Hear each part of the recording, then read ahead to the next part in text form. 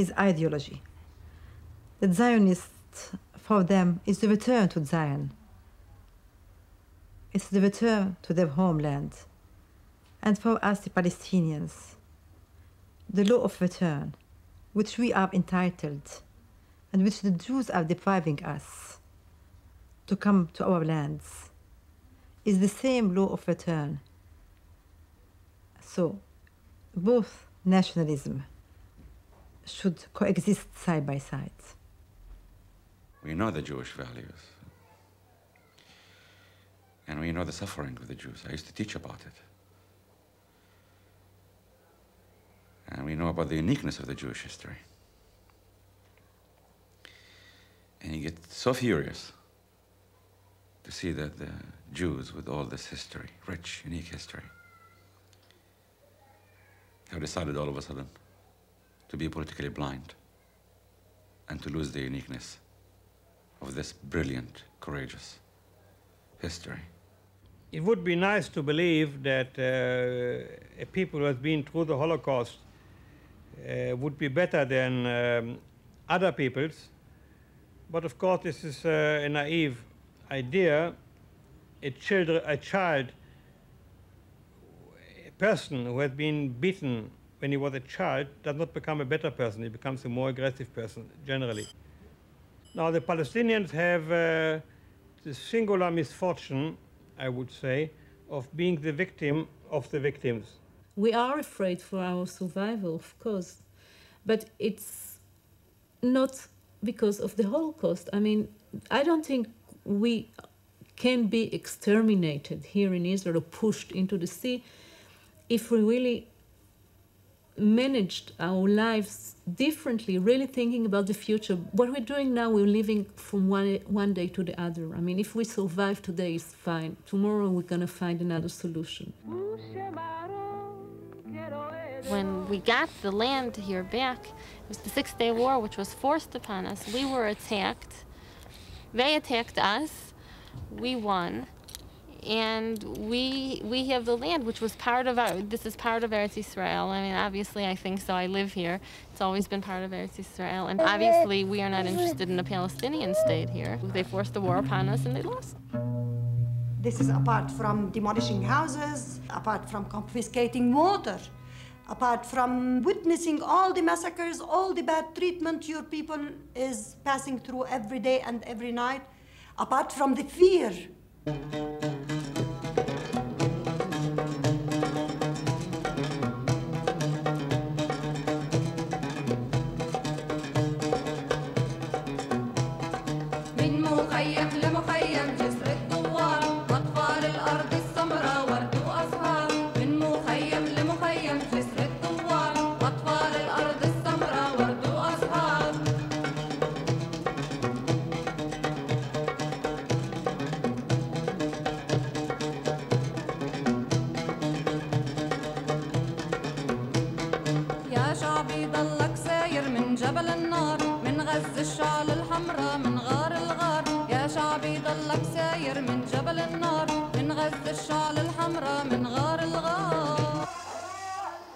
Intifada is it's a Palestinian response to 20 years of living under occupation, the 20 years of being abandoned and left alone by the international community.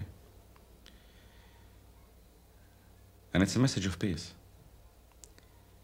And it's a message Uh, the Palestinians who decided with the stone, the oldest technology the human possessed, knowing that Israel possessed the most advanced technology in our age, to launch satellites to space. To tell the Israelis and to tell the world, kill me or free me.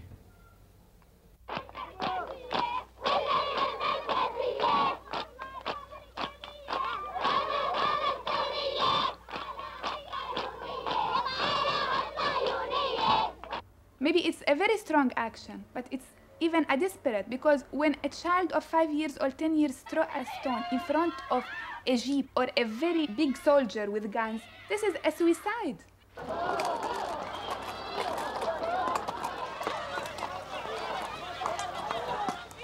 بعدين انسجنت ثلاث مرات يعني تبهدلنا كثير الحمد لله من أول الاحتلال لغاية هالحين يعني ما نمناش ولا ليلة مرتاحين زي الناس ليلة بنقول هالحين بيجوا يكسروا الباب الحين بيأخذوا فلان الحين بيأخذوا فلان. يعني كل ليلة كل ليلة بنضل كلكنين بهذه الطريقة فالانتفاضة ممكن تحقق السلام والشغلات اللي إحنا بنتمناها من زمان للشعب الفلسطيني كدولة فلسطينية مستقلة لجميع الشعب الفلسطيني على أساس نرتاح كشعب فلسطيني موجودين Without the Intifada, the Israelis would prefer to uh, continue the status quo, which was, uh, we, all of us were used to live with it for many years since uh, 67.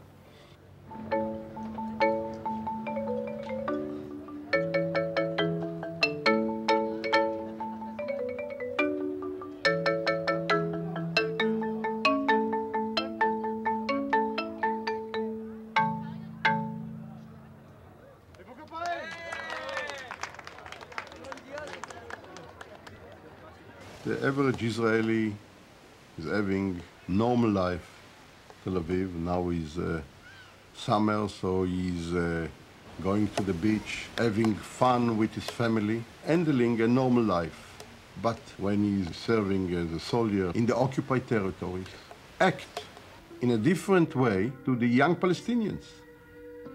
I never dreamed I'll have a son serving in the occupied territories. It's a nightmare for me and for him. The feeling that he might find himself in a position of arresting or beating up Arabs, it's a terrible feeling for him and for me. And I feel criminal, really, sending one son and probably the second into an army. I don't believe it in at all. Playing chess on a on a board ran by idiots and people I don't trust a bit.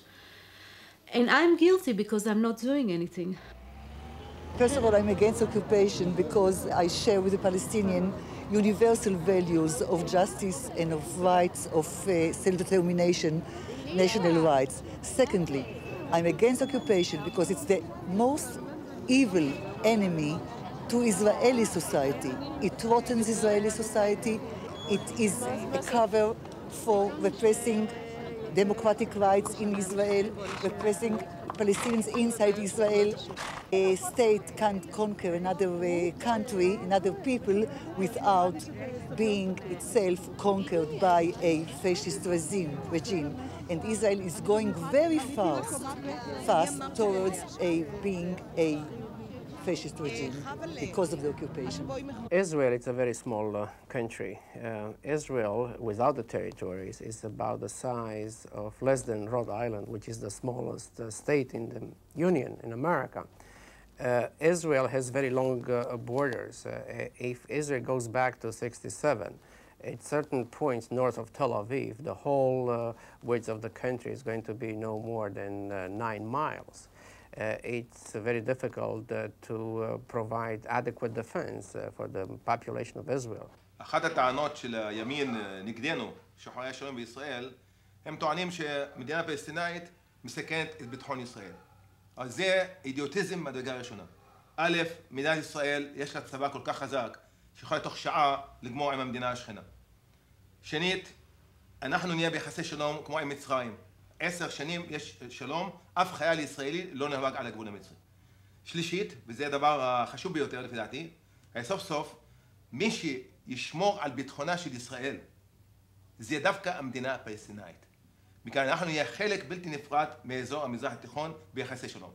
וכל הדיבור הזה שהמדינה הפלסטינאית היא מפחידה והיא מסכנת, אין לזה שחר, זה נימוק כדי לא לעשות שלום. It is said Palestinians use knives now, and maybe we'll use guns in the future. And Israelis would retaliate with guns and knives and whatever. So we are witnessing both Palestinians and Israelis going towards a sea of blood. I know that we will sink in such seas. Shamir thinks that he can swim, and that's a strategic mistake. We may assume some calculated risks in order to get into the process, but we are not in the business of committing national suicide. Sorry about that. Mutual trust can, must begin around the peace table. There's no trust. We don't trust them, they don't trust us. We have been in a state of war for 40 years. You cannot expect anybody to trust anybody after 40 years of, of war. This is why, the, why we should sit down and talk. If we are not going to have a solution of the two states, two people living side by side with, with each other, we are going to have a symmetry for both of us in this area. We are going to kill each other.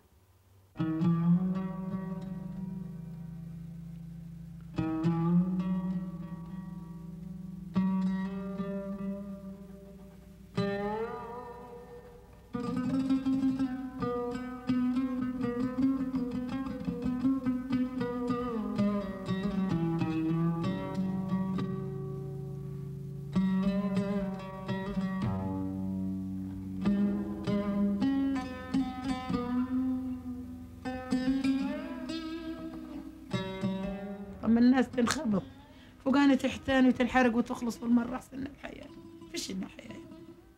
الحياة خرا كلها تصارت من السنة إيش بدنا نتخرف؟ إيش بدنا نقول؟ أضل يشول في قلوبنا بالمرة؟ يا الله. الواحد إيش بده يشكي؟ الشكوى لله ما ضل في لك عدو وفي لك صاحب ضل في القلب تجرح ولا تطلع برا مشيها زي ما تكون تكون الحمد لله النصر من عند الله. والله بنطلب إحنا النصر من عند النصر من ربنا. عند الله. وربنا يصلح الحال في الحال. ونقول ربنا يصلحنا. إحنا وياهم مع بعضنا نستعيش من يزيد العالم. ونمرق ونطلع هم يمرقوا ونطلع وربنا يصلح وينزل ربنا الرحمة ما بيننا وبينهم. إحنا بنطلب الرحمة ما بيننا وبينهم ويطلبوا. ما تضل الدنيا زي هيك.